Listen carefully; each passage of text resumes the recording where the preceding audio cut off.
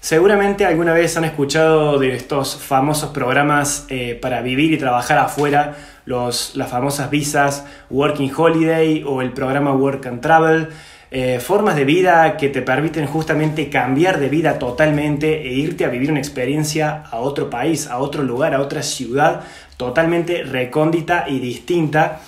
La persona que invité hoy para grabar este episodio tan interesante sobre los mejores ciudades, las mejores, los mejores países para vivir afuera después de la pandemia, tiene mucho que ver con, esta, con estos programas de viajes, con esto de vivir y trabajar afuera. Berna, ¿cómo andas? ¿Todo bien? ¿Qué tal, Conrado? ¿Cómo va? ¿Todo bárbaro por acá? ¿Todo tranquilo ahí? Todo excelente. Me imagino que ya mm, te venís preparando para estos meses porque viste que dicen que que van a abrir las fronteras argentinas en septiembre. Sí, bueno, pero más allá de, que abran las fronteras nuestras, eh, también está atado que, bueno, que abran las fronteras de los otros lugares a los que los chicos se quieren ir. Así que bueno, hay como mucha incertidumbre en cuándo va a abrir, no sé, Australia, Nueva Zelanda eh, y bueno, en los lugares de Europa también que, o sea, no tenés información certera sobre cuándo van a permitir la entrada de personas de Latinoamérica. Sí, de cualquier parte del mundo. No es que no tenga, no hay. Eh, Australia ah. todavía no terminó de definir, por ejemplo, cuándo va a abrir su frontera al público internacional. Así que bueno, estamos todos esperando la, la información. Claro, perfecto. Sí, sí, la verdad que está todo bastante incierto. Eh, ahora, vamos al punto, a lo que vos te dedicas. Yo probablemente las personas que escuchen que son de Argentina te conocen, pero quizá hay otras personas que escuchan este podcast, que hay algunas que son de México, de Ecuador, quizá no conocen esto. Eh, ¿Qué hace, en breves palabras, digamos, qué hace esta empresa que vos creaste, Yo Me Animo y Vos?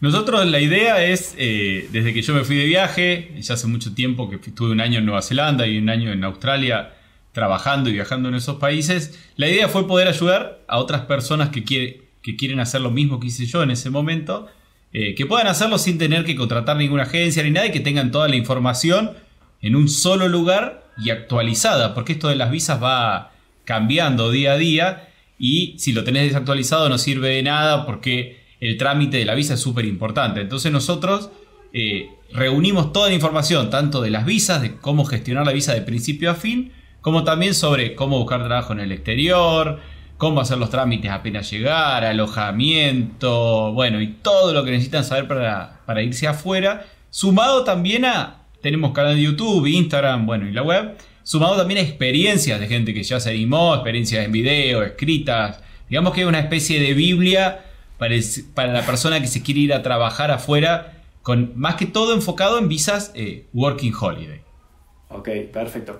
Ahora tengo una pregunta. Yo, bueno, yo me fui a Nueva Zelanda, por ejemplo, en el 2016 y estuve allá viviendo con mi hermano y todo. Y cuando entré a tu página, o sea, vi que sos súper mega viajero. ¿Cuál fue tu viaje o el momento que a vos te dijo, bueno, yo me quiero dedicar a esto, a ayudar a que la gente viaje, a que viva esta experiencia? ¿Hubo un viaje, un momento en particular que te cayó la ficha así o...? Mira, en realidad eh, no fue de un día para el otro. Porque, a ver, sí hubo un clic que hizo que yo me vaya de viaje, que fue que, bueno, me cansé de, la rutina, de estar trabajando nueve a 6 de la tarde, quería viajar, hacer otra cosa, eso fue el clic que hizo que me vaya. Y la verdad que lo de ayudar a los demás fue algo que se fue dando. Yo cuando me fui de viaje empecé a escribir en la página mis historias, mis anécdotas y un poco, un puchito de gente me empezó a seguir. Y dije, bueno, voy a empezar a contar un poco más cómo sacar la visa, que nunca lo había contado, sino que contaba cómo eran mis días afuera. Y bueno, y una cosa fue llevando a la otra y cuando empecé a escribir a la visa tuvo mucha repercusión de cómo sacar la visa. Y después escribí sobre cómo buscar trabajo y también tuvo un montón de repercusión. Entonces ahí me dije, digo, bueno, ¿por qué no escribir un poco más seriamente sobre cómo armar todo el viaje? Y bueno, una cosa llevó a la otra y hoy tenemos información para creo que más de 15 países de, cómo armar todo tu viaje de, de Working Holiday. Tremendo. Em, encima, cuando yo entro a la página, veo que vos escribís todo como muy, muy, muy, a ver, muy personal, como si le estuviese hablando a un amigo, con chistes, bromas. Es como que el trato con la gente es muy, de, muy cercano.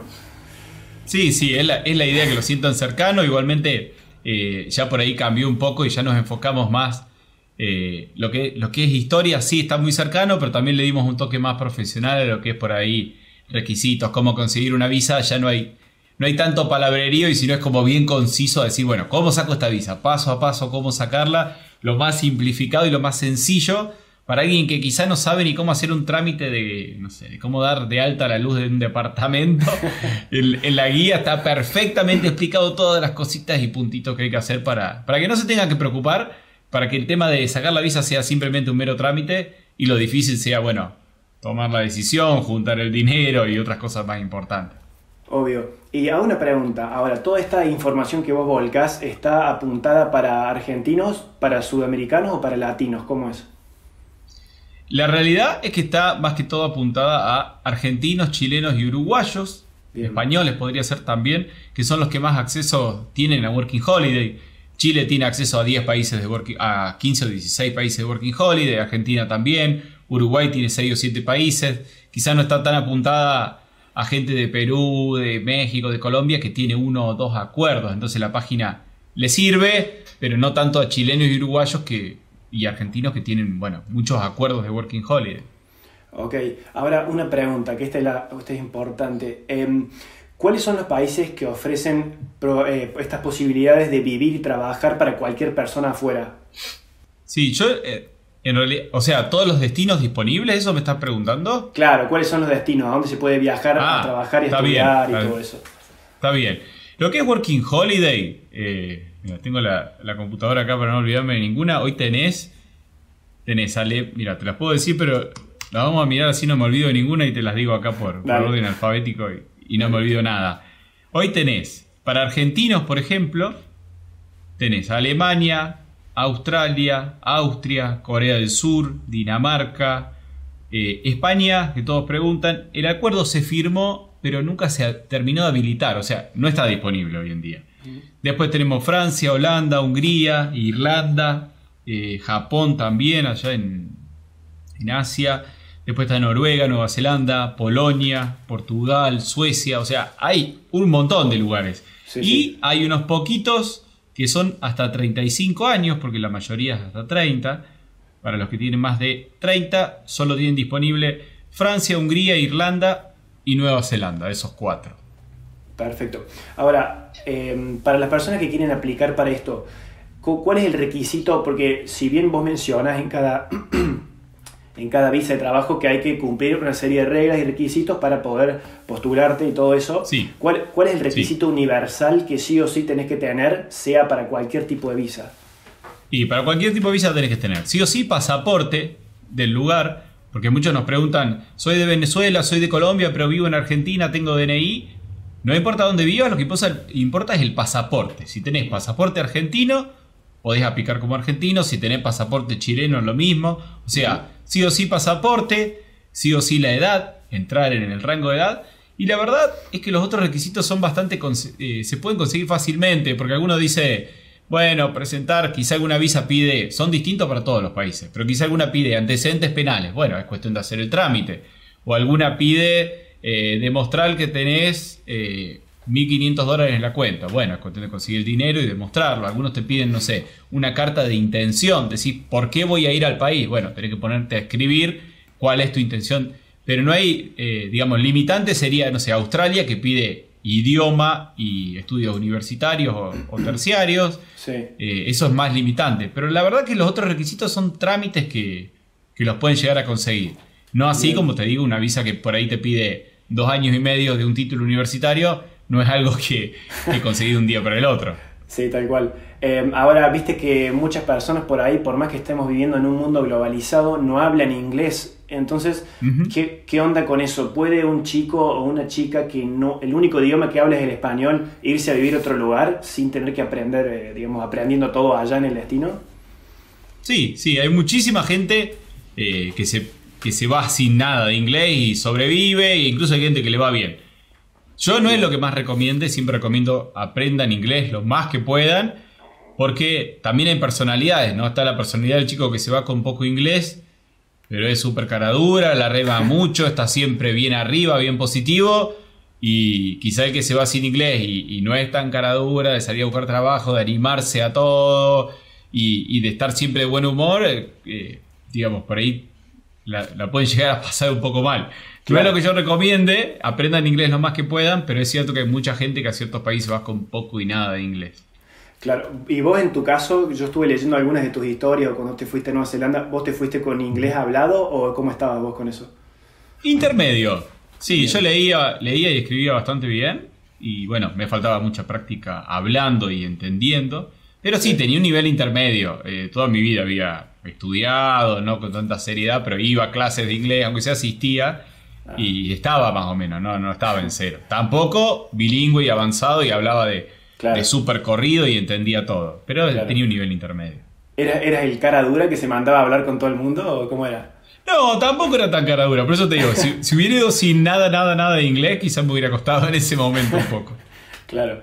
Claro, y ahora te quiero preguntar, eh, de todas estas visas, em, siempre hay alguna que es como la favorita o la que, el, la que todo el mundo quiere. ¿Cuál es esa, esa, esa favorita que todo el mundo busca o la más buscada, digamos? Podríamos decir que en principio era Nueva Zelanda, porque también es la que más años tiene. El acuerdo con Nueva Zelanda debe tener ya como 15 años. Era como la más conocida, lo más fácil. Ya en Nueva Zelanda estaban súper acostumbrados a que gente vaya a trabajar con visas Working Holiday. Y, ahora también se está como poniendo un poquito de moda también, ahora ya desde hace un par de años, eh, Australia. Y bueno, después si tenemos que decir quién le sigue, ya sería más Dinamarca, Francia, Alemania. Es quizá una cuestión de maduración de los contratos entre los países que, no sé, Austria tiene un año, entonces obviamente hoy no es la favorita. Eh, pero las otras que tienen mucho más años ya tienen mucho más gente que fue, más gente que volvió a Argentina, que le contó a sus amigos. Como que va madurando un poco el destino. Sí, sí, sí, tal cual. Aparte, creo que mm, muchos países se abren a estas oportunidades y a hacer convenios con, otros países porque necesitan eh, fuerza de trabajo, ¿no? Como que son países donde vive muy poca gente y necesitan esta inmigración para, crecer, ¿o no?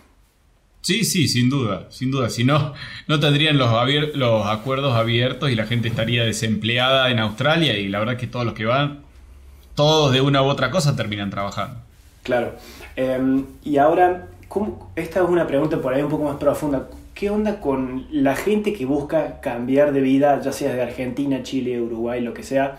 Eh, ¿Cuál es el motivo que ellos tienen para decir, bueno, me quiero ir y necesito un cambio en mi vida, quiero encontrarle sentido, quiero redescubrir nuevas cosas? Yo estoy seguro que vos debes tener como, según lo que leo, tenés como una constante comunicación con todos los, los Yo Me Animers, que son los de los seguidores de... Que la gente que nos sigue, sí. Sí. Eh, ¿Qué onda? ¿Qué te cuentan? ¿Por qué deciden esto? Hay, la verdad, motivos diversos. Hay gente que se quiere ir porque quiere ahorrar dinero. Hay gente que se va solamente un año y vuelve porque está cansado un poco de su rutina y dice, ah, me tiro un año afuera, viajo, ahorro, después vuelvo, total vuelvo a conseguir trabajo. Cada vez hay más gente que se va con la idea de no volver también, que antes quizá no pasaba mucho. Hay mucha gente que hoy dice, empiezo una working holiday, pero después veo alguna oportunidad de sacar una visa de trabajo, de conseguir otra cosa y quedarme. Eh, la verdad que los motivos son bien diversos. No es, yo creo, a diferencia por ahí del Work and Travel de Estados Unidos, el motivo, me voy por tres meses en el verano y pego la vuelta. Esto es más para gente ya que quiere irse un año. Claro. Se va más tiempo, que, está, que ya que va a dejar todo en su país el trabajo, que saben del auto y todo, no se va por tres meses y vuelve. Y no es tampoco tanta gente de 21 o 22 años. Yo diría que es más de 23 para arriba, 23, 24 años. Bien, perfecto. Em, ahora, ¿cuáles son las, Porque muchas personas por ahí les pica el bichito viajero y dice, yo me fui a Nueva Zelanda, se quedó un año, pero se quedó con toda la sed, con todo el hambre del mundo de irse a otro país y hacer una experiencia parecida. Em, ¿Cuáles son esos esas visas en diferentes países que te permiten alargar la estadía, que te copaste y dijiste, mira, yo me quiero quedar un año más acá, sí o sí. Sí, la verdad que los nombres cambian, obviamente, en todos los países, pero generalizándolas, la mayoría de los países tiene opciones en visas de trabajo, que no son visas working holiday, que son visas por ahí, dependiendo del caso, mucho más complejas o no tanto más complejas de obtener, pero no tan fácil como una working holiday, que es un mero trámite que entras en internet y sacas un par de cositas y la tenés. Las visas de trabajo, la mayoría te piden tener un empleador. Entonces, por ejemplo, te vas a Dinamarca con una working holiday. Trabajas en un lugar de, por decir un, no sé, programador. Y tu empleador dice, ah, mira, nos gusta mucho cómo trabajas, nos gustaría mantenerte. Ya teniendo un empleador, muchas veces es posible sacar una visa de trabajo, no sé, por dos años, tres años, por un año, por lo que sea, y ya empezar a quedarte un poco más en el país. Después ya de una visa de trabajo de dos años, quizás podés aplicar a otra visa y vas un poco más camino a, incluso una residencia. Eh, pero sí, hay, hay oportunidades. Pero bueno, la Working Holiday es una excelente forma de, de entrar al país, de ver si te gusta, si no te gusta, de conseguir un empleador. Y después ya, si tu idea es quedarte, ya, bueno, durante ese año preocupate por conseguir algún trabajo en el que te puedan llegar a lo que se dice sponsorear, como apoyarte en esto, decir, che, yo soy tu empleador eh, y te, te sponsoreo para que vos puedas conseguir una visa, como salgo de aval diciendo que te quiero contratar, así puedes conseguir esta visa que necesita que vos ya tengas un empleador. Pero sí, se puede, hay muchas opciones. Claro. Ahora, viste que con esto del coronavirus, como que llegó y cambió mucho el panorama, ¿no? Eh, hay mucha gente que tenía planes antes de irse, antes de que comenzara y estallara esta, esta, esta pandemia, y se cancelaron totalmente, obvio, le pasó a todo el mundo. Pero mm, hay muchas personas que querían darle un giro a su vida, eh, y, pero hay otras que este coronavirus le hizo sentar cabeza y decir, no, yo tengo que cambiar porque esto, esto fue un, un puntapié para decir, loco, tengo que hacer otra cosa en mi vida. ¿Cómo, eh, ¿Cómo puede elegir uno que quiere, que sabe que quiere vivir en otro país, viajar y todo eso y asentarse y vivir una experiencia? ¿En base a qué tiene que elegir ese país? Sé que esto es muy subjetivo y depende de cada uno, pero ¿cuáles son los criterios que uno tiene que tener para elegir determinados países, por ejemplo? Y depende, a ver, primero yo digo, no es que yo no les puedo decir que tienen que tener en cuenta, pero sí les puedo decir, eh, digamos, a ver, si, por ejemplo, para la persona es importante el ahorro, decir, bueno, investiga bien en la web, fíjate cuáles son los países que más pagan, no te vayas, por decir, a Corea del Sur, donde es más a vivir la experiencia que ahorrar, porque no se ahorra casi nada. Después, si para vos es importante el clima, decís, no, ni loco me voy a Noruega porque yo el frío lo odio. Bueno, ten en cuenta el clima. Es, cuando a mí me preguntan cuál es el mejor país, eh, realmente es como decir, eh, es, imposible decir, porque yo te puedo decir, no, andate a Australia porque para mí es el mejor país. Pero a mí que me gusta el calor, que me gustan las ciudades grandes, que me gusta la playa, eh, si tu idea es decir, no, a mí me gusta más los días de lluvia, sentarte en un, en un lugarcito en, Suecia y mirar la lluvia y no me gusta la playa y, las ciudades grandes me abruman, entonces me gusta más un lugar chiquito y yo te recomendé Australia, me vas a odiar. Entonces no hay un mejor país y un peor país. Es depende de qué te guste, qué priorices. Es decir, yo priorizo muchísimo la plata. Me quiero un año y me quiero llenar de dólares. Bueno, andate a Australia, andate a Dinamarca. Eh, es depende de qué prioricen. Eh, priorizo muchísimo eh, Europa, porque por ahí uno, vos fuiste a Nueva Zelanda también, a mí Australia y Nueva Zelanda me encantaron. Y me encanta también el sudeste asiático que está ahí cerquita. Y hay gente que te dice, no, a mí no me gusta, pero odié el sudeste asiático cuando fui. Me encanta Europa, me encanta el orden, me encanta las ciudades, me encanta Barcelona, me encanta París, me encanta Berlín. Entonces yo digo, pero, eh, es depende de qué te guste, no hay mejor ni peor. Es depende de qué priorices. Priorizo el ahorro, priorizo el clima, eh, priorizo los lugares, priorizo la gente. Eh, Ahora, en base a eso debe... Sí. Perdón que te corte. muchas personas de Latinoamérica por ahí les choca mucho el cambio social, esto de las amistades ¿Qué país que vos sepas se puede amoldar mejor a una persona que es súper sociable y que quiere algo parecido a Argentina? Y mira, yo no estuve, pero te diría Portugal, porque ah, es el único que se me ocurre un poco de decir, che, te repito, esta es muy subjetiva la respuesta. Sí, sí. Pero se me hace que, no sé, digo, a ver, la gente de Portugal, Brasil, el tema de que uno, el portugués, creo que la mayoría más o menos lo entiende. Sí. Eh, digamos, dentro de lo que está disponible el Working Holiday. Si tuviera España, te diría España, creo que son los más parecidos a nosotros en Europa. Pero no está disponible, o, bueno, o Italia. Italia. Pero sí, después, después el resto, sí, che, Alemania, Dinamarca, Australia, Suecia, Nueva Zelanda, y no hay ninguno que sea Corea, Japón. Somos muy distintos. No es que sea malo, pero somos distintos. Claro. Eh, ahora te, te hago mm, una pregunta en base a la anterior. Eh, qué tiene que tener uno, a qué se tiene que atajar uno, a qué se tiene que preparar cuando va a irse a vivir un año afuera, por más que pueda ir y volver, que la visa lo permite. Mentalmente, ¿cómo te tenés que preparar? Porque hay todo un cambio cultural, distanciamiento de amigos, de familia. ¿Cómo es ese tema? ¿Qué tanto se tiene que preparar una persona para esto? Mira, la verdad no lo quiero... Eh, no, yo cuando me fui, eh, vos también te fuiste, la verdad yo no me preparé en lo absoluto y no tuve momentos malos, pero si tuviera que dar un consejo, es decir, a ver, por ahí el que le cuesta más desprenderse, quizá a mí no me costaba tanto, es que se preparen, pero más que todo para, ver, para los primeros días. Yo creo que una vez pasado el primer mes, eh, es todo mucho más sencillo. Quizá que se preparen para que sepan que, bueno, que va a haber un cambio importante en ese primer tiempo donde llegás y quizás pensaste que era una forma y es de otra, o te tenés que empezar a adaptar, es todo muy distinto, el idioma, pasa un tiempo hasta que te haces realmente amigos, pasa un tiempo hasta que conseguís trabajo, entonces bueno, es medio estresante ese primer mes, digamos, hasta que uno se establece. Después no creo que haga falta mucha preparación. Eh, después ya todo fluye, ya tenés amigos, ya tenés trabajo, ya tenés alojamiento, se hace muy llevadero. Pero bueno, que, no, se me, que no se me decaigan eh, en ese primer mes que, hay que remarla un poco. No, estoy, totalmente de acuerdo porque yo lo viví así. De hecho, sí, los primeros días son, son heavy, pero la verdad que si uno tiene un poquitito de actitud y un poquito de positivismo, desaparece ese miedo. Y ahí es cuando se abre el mundo y, todo se vuelve increíble.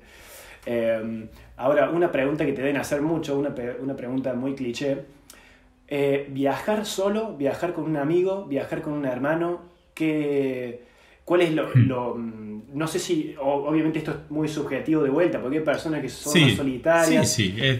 pero... Sí, todo depende, todo depende, pero yo diría que, está bueno hacer eh, al menos una vez cada una de las cosas. Es decir, al menos una vez estaría bueno que puedan viajar solos, y no me refiero solo a andar todo el tiempo solo, sino decir, che, me voy a este país solo, no me llevo mi hermano, no me llevo mi amigo que lo tengo ahí de, backup, y por cualquier cosa porque te obliga más a conocer más gente, a estar más libre, a hacer otras cosas.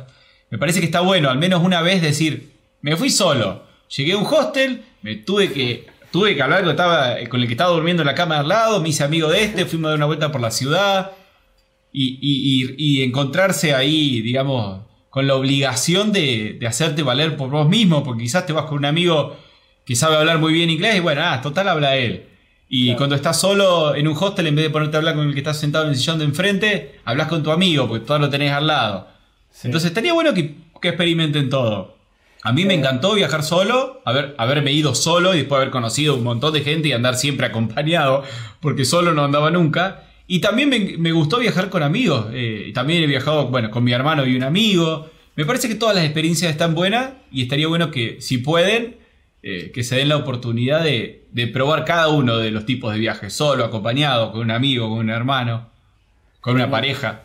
Vos, en lo, personal, em, ya tanto para los programas de Working Holiday como los viajes puramente turísticos, ¿has viajado solo o acompañado?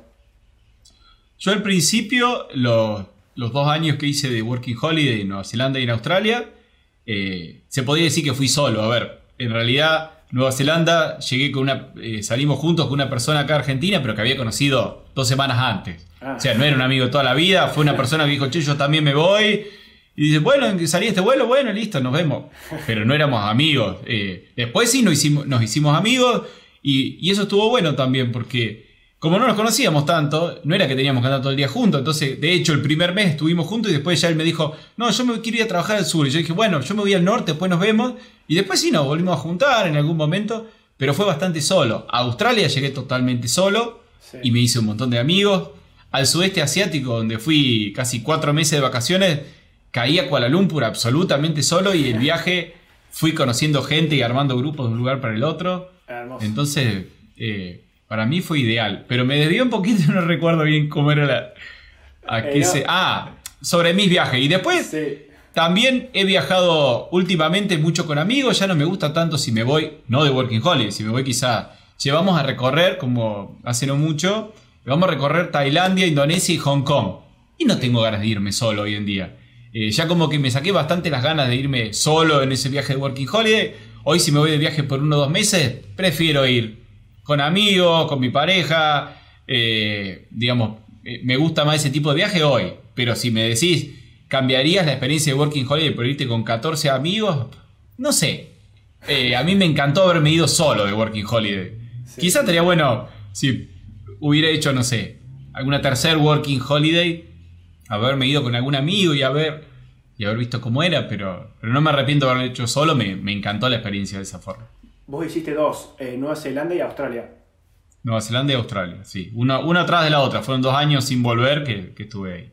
Oh, tremendo. Y eso ya fue suficiente para decirte, loco, acá tengo que hacer algo, tengo que, tengo que salir con esto. Sí. yo no lo pensé tanto en realidad cuando, cuando terminé de decir, bueno, vuelvo y, empiezo con la página. De hecho, cuando volví a Argentina, volví a trabajar en, una empresa de ingeniería y seguí escribiendo la página a medio tiempo. Pasaron como 6, 7 meses hasta que me decidí a realmente dedicarme a esto. Pero, pero no, no volví y, me largué así, a full de lleno. Bueno, pero hay muchas personas que les pasa eso, ¿no? De como que tienen un trabajo muy convencional como el tuyo y de repente se enamoran de esto de la vida nómade, entre comillas, y también cambiando al 100% todo. Es increíble. Sí, sí, sí, me pasa mucho. eh, ¿cuáles, hay muchas personas que, como vos dijiste, que piensan en la plata, no solamente en viajar, sino en poder ir afuera y juntar unos buenos mangos. Eh, ¿Cuál, en, a tu parecer y según la respuesta de, la gente que te sigue, que viaja, cuál es el país con más posibilidades de ahorrar y que tiene sueldos más altos? Hoy, sin lugar a duda, eh, para mí el top 3 es liderado por Australia y después ahí entre Nueva Zelanda y Dinamarca son, son los tres que más se ahorra, digamos, comparado con los demás. Bien, perfecto. Sí, en Dinamarca me dicen que tiene el sueldo más alto de Europa. Sí, Sí, sí, es, bastante caro, pero digamos, también paga muy bien y, si vas con la idea de ahorrar, o sea, de no hacer una vida, de decir vivo solo en una casa y me compro un auto, viví en un hostel, viví en una casa con varias personas, te haces de comer, vas en modo ahorro, se puede ahorrar. Qué lindo, qué lindo. Em, ¿Cuál es el país, em, qué país con, con, Working Holiday Visa, digamos, de estos, tiene mejor feedback, mejor respuesta? Que te dicen, por ejemplo, eh, la verdad que este es el que más me gustó. Eh, por ahí es el favorito Nueva Zelanda, pero por ahí hay otro que, tiene mejores referencias, que resalta.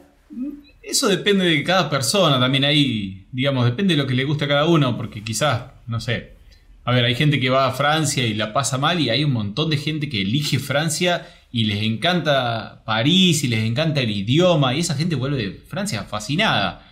Eh, entonces, la verdad que yo no creo que haya gente que haya ido a algún lugar y haya dicho, a ver, seguramente alguno hay, pero no, no, me, no recibo esos mensajes y recibimos cientos de mensajes por día y casi nunca te diría alguien, no, fui a Alemania, la pasé re mal, no me gustó para nada. Claro. Eh, como que todos encuentran, eh, digamos, encuentran lindo el lugar a donde van y les terminan gustando desde las comidas hasta la gente. Eh, no, no, recuerdo que, hayan dicho cosas malas, como que toda la gente que va a Nueva Zelanda vuelve fascinada, los que van a Australia también, los que van a Francia también. Bueno, y ahora hay muchos destinos nuevos, ¿no? Suecia, Austria, Hungría. Eh, yo creo que también uno va medio predispuesto a pasarla bien, por eso la, termina pasando bien, te termina gustando. Sí, sí, yo creo que sí o sí te, termina gustando. Em, Vi que vos tenés un canal de YouTube eh, que se llama Yo me animo y vos, donde por ejemplo a veces haces videos llamadas con personas que están viviendo esta experiencia afuera y hay veces que te cuentan anécdotas que están bastante interesantes, como la última que subiste de una chica que se mudó a Dinamarca, se casó y se quedó a vivir. como, ¿qué, qué tan No, no, se grabó todo. Eh, justo se, justo se, se terminó en esa parte de la última pregunta. Si querés, sincronizamos de vuelta y larga desde la última pregunta esa. Yo estoy grabando. Eh, si ¿Hay algo que no grabó? Listo. Si quieres, hacemos el aplausito cuando quiera. Ah, bien. Ahora, eh, yo he visto que vos tenés un canal de YouTube donde hablas con personas que están en otros países viviendo esta experiencia y, hay algunos que te cuentan anécdotas o historias que realmente decís, wow, ¿cómo puede pasar esto? Qué ganas de irme de viaje. Eh, uno de los últimos que subiste es ese de la chica que está en Dinamarca, que se casó con un danés y creo que está viviendo ahí. Eh, ¿Qué onda? Sí, sí, no, se, no se casó, está de novia y bueno, volvió allá y ahora la idea ya, ella cuenta, de hecho en la entrevista que le hice que, se ha ido por un año y bueno, eh, ahora la idea es quedarse a vivir por siempre. Pero sí, hay millones de anécdotas. Hay otra chica también que terminó trabajando en el castillo de la princesa de no sé dónde, que eran como 10 personas que tenía ahí, digamos, limpiando y haciéndole, no sé, las uñas y esto, el otro, y terminó trabajando en un castillo. Bueno, eh, de todo, hay experiencias de todo tipo. En Australia El otro día nos mandaron un, chico nos mandó un video que arrean las vacas en el campo en un helicóptero, en un campo que tenía como 40.000 hectáreas, van en helicóptero a buscar dónde están las vacas. Ah, Imagínate cosas que no te esperaste eh, en tu vida. Gente que terminó trabajando en barcos de pesca, así como también, no tan alocada, pero gente por ahí que, que fue con la idea de la Working Holiday, uno de mis amigos, de hecho. Eh, y él fue con la idea de buscar trabajo profesional y bueno, nunca trabajó en el campo, ni en un hotel, ni nada. Consiguió trabajo profesional a los dos meses de llegado a, a Auckland, a Nueva Zelanda, que yo de hecho lo entrevisté también en, en YouTube. Y bueno, consiguió ese trabajo, la Working Holiday la dejó ahí como rápido, pasó una visa de trabajo, después pasó a otra, y ahora está camino a la residencia permanente en Nueva Zelanda, y ya hace como 4 o 5 años que vive allá, o sea, la, las vueltas de, del destino te pueden cambiar, de la vida te pueden cambiar muchísimo y terminar haciendo algo que no te lo esperaba jamás. Totalmente, totalmente, increíble. Yo, claro, yo cuando me fui a Nueva Zelanda, yo creo que tuve, por menos en, Christchurch, donde yo llegué, me acuerdo, ahí que mencionaste, eh, creo que tuve el récord de, los inmigrantes que llegaron y consiguieron trabajo porque lo conseguí, llegué un día y al día siguiente ya estaba contratado, literal. Claro, sí, sí, sí, hay, mucho, hay mucho trabajo. Qué impresionante eso. Eh, ahora, Viste que existe este miedo sobre mm, eh, viajar completamente solo, por más que vos lo recomendás y todo el mundo lo recomiende. Pero hay gente que todavía dice, ah, es que no sé, no me animo. Eh, ¿Qué consejos, tips podés dar a esa gente para que dé el paso, ese paso mínimo que le falta para irse? Que, miren el país en el que vivimos. A ver, no vivimos en el país más seguro del mundo. Eh, muchas veces salen y van a países realmente primer mundo, como es Nueva Zelanda, Australia, Suecia, Dinamarca, en los que pasa nada. Y hay gente que por ahí vive en Buenos Aires, en el conurbano de Buenos Aires, y todos los días vos ves que roban, que esto, y te dicen, no, yo ando todo el día mirando para acá, para allá, y a un amigo le pasó esto. Y si te estás yendo a Dinamarca y tenés miedo, o sea, no tenés miedo de vivir. Eh, acá en Argentina y tenés miedo de irte a Dinamarca, está bien, vas a estar solo, pero tampoco es que, repito, uno no se va de viaje solo para estar siempre solo, te vas a hacer amigos, vas a vivir con gente. Eh, es medio infundado el miedo, ¿no? Sí, de, sí, es medio... de, irse a un país tan seguro y tener miedo allá, pero acá no tenés nunca miedo, entonces no tiene mucho sentido. que se olviden un poco y se, se relajen. Sí, sí, es verdad, es un, es un, miedo irracional, pero te llega bastante, ¿no? Esa, esa, esa duda, como que... No, no, no la verdad que no. No, no mucho. Muchos tienen miedo, pero no por la inseguridad de viajar solo. Como esto de decir, che, me voy solo. Hay gente que se va sola, no la, no la voy a aburrir, voy a llegar solo, me voy a hacer amigos. Es, un miedo, ¿no? De la seguridad. Eh, incluso de, digamos, tanto hoy de hombre como de mujeres. Es más un miedo de, del conocer gente. Voy a ser el único loco que me voy de este working holiday, voy a estar solo en el hostel. Yo siempre trato de dejarlos tranquilos por el lado de decir, mira, Quédate tranquilo que seguro te vas a subir al avión y en ese mismo avión va a haber otro chico que se está yendo de Working Holiday al mismo destino y ahí ya tenés al menos alguien con quien llegar, con quien hablar. es más un miedo a la, a la soledad, creo, que, a la inseguridad. Eso, estoy totalmente de acuerdo. Es más miedo a la soledad, a estar solo, sí, sí, sí. Y ahora con esto que recién marcaste de hombres y mujeres, ¿qué por ser es, eh, es indiferente? Digamos, hay tantos hombres como mujeres que se animan a viajar, ya sea solos o acompañados, o cómo es. Sí, sí, hoy en día te diría que es por igual. Mira, nosotros en también depende de las plataformas, pero te iba a decir, en Instagram nos siguen 60% de mujeres, ah, de hecho, y un 40% de hombres. En YouTube nada que ver, es más un 70-30 hombre a mujer, pero yo creo que es hoy 50-50. Eh, digamos, hay muchísimas mujeres que se van y también hay muchísimos hombres, ¿no? Eh, no creo que haya una tendencia a decir, no, son más los hombres o son más las mujeres. ¿Y tenés, por ejemplo, una estadística así de que, qué países o qué preferencias tienen las mujeres para elegir a dónde inmigrar? No, la verdad que no. Nunca me lo planteé. Siempre me pareció como que. Como que estaba bien dividido. No es que, ay, todas las chicas se van acá y todos los hombres se van allá. Te diría casi convencido que, que no ah, hay una desviación ahí. Decir, che, la mayoría de las chicas van a este país. Ah, me parece que es bastante por igual. Sí. Mira. Em, te hago una, una última pregunta que me olvidé. ¿Qué onda? Porque viste que los trámites por ahí hay gente que piensa que son engorrosos hasta que comenzás y lo haces y resulta que son fáciles. Em, ¿Cuál es el, país, si, si, es que existe, el país que exige menos requisitos para poder hacer los trámites y viajar?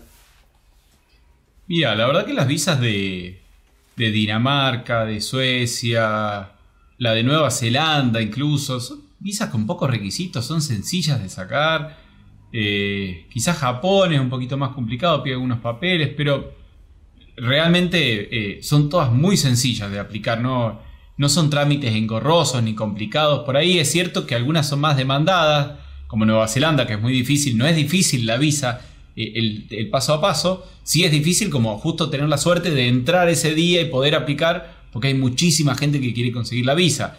Lo mismo con Dinamarca, que a veces no hay turnos en la embajada, entonces hay que estar bien atento a cuándo se abre un turno para poder sacarlo y presentar las cosas. Pero los trámites, créanme, no son para nada complicados. Lo complicado es animarse, decidirse a, hacer el viaje, bueno, juntar la plata hoy en día, pero por el trámite que se despreocupen que son bastante sencillos. Perfecto, genial.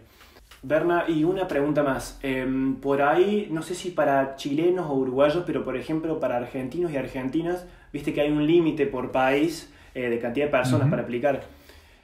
Em, ¿Vos te, sí. ¿Cómo es eso de los números? ¿Cuánto es por, por año? Sí, la realidad es que son limitados para la gran mayoría, salvo para algunas, como Alemania, Dinamarca y Suecia. Esos tres son ilimitados, no tienen límite de visas. Dinamarca lo querían limitar, pero bueno, al final no terminó pasando nada. Y después, medio que las que más visas, perdón, las que más visas tienen son Australia, que tiene casi 2.500. Nueva Zelanda tiene 1.000, o sea, ahí ya tenés un montón. Y los otros son bastante menos. Eh, creo que le sigue, sí, Francia con 900. Y después tenemos, no sé, Austria, Corea, Hungría, que son 200. Irlanda son 200 también. Y después ya incluso menos. Holanda tiene 100, Portugal tiene 100. Ah, mira. Eh, ¿Cuál me olvidé? Bueno, son bastante poquitas. Noruega tiene 300. Ah, eh, sí, los que más tienen son, digamos, bueno, ilimitadas, Alemania, Dinamarca y Suecia. Y después Australia, eh, Nueva Zelanda y Francia tienen ahí Australia 2500 y bueno, unas mil más o menos eh, Nueva Zelanda y Francia. Ahora, hay que nombraste Dinamarca. ¿Notaste en los últimos años, o al menos en el último año, una tendencia a elegir más Dinamarca? Porque hay mucha gente que se está copando mucho con ese país. Sí, sí, sí, de a poquito cada vez se va más gente. Creo que pasa siempre con los países que ya tienen más años. El acuerdo de Dinamarca tiene mucho, ya tiene mucho tiempo. Entonces, bueno, se van afianzando, el mismo país se va acomodando y ya sabe que cae gente de Working Holiday, empieza a conocer la visa. Yo creo que a la larga todos los países van a crecer mucho.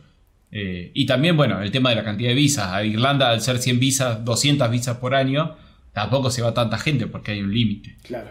Y, y, a Dinamarca, bueno, al no haber límite de visa, obviamente se fueron muchos argentinos. Sí, sí, lógico. Bueno, con esto me parece que ya tengo suficiente información. Con esto es un pantallazo enorme. Bueno. Eh, te quiero agradecer un montón tu tiempo, sé que estás ocupado, así que te agradezco un montón por esta, esta charla, más que entrevista. Bueno, un placer, un placer. Ojalá que, que termine desencadenando que si había alguno que decía, che, no me animo, no sé, debe ser difícil, no se puede, voy a ser el único loco que lo hizo. Si tiene todas esas dudas, bueno, a ver si les ha aclarado un poco y si quieren ahí entrar a la web a realmente leer cómo es, que, se animen. ¿Cómo, ¿Cómo te pueden encontrar en redes y en internet? Estamos como yo me animo y vos, en todos lados. Eh, en Instagram, en, YouTube, en la web. Si ponen yo me animo y vos, van a terminar ahí. Dando con alguna de nuestras redes. Perfecto. Bueno, Berna, muchísimas gracias. Eh, recuerdo a todas las personas que están viendo esto o lo están escuchando, lo pueden encontrar en YouTube como Boleto de Ida Podcast, en Spotify, en iTunes y en Instagram, siempre con el mismo nombre, Boleto de Ida. Muchas gracias, Berna, y gracias a todos. Nos vemos. Perfecto, gracias, hasta luego.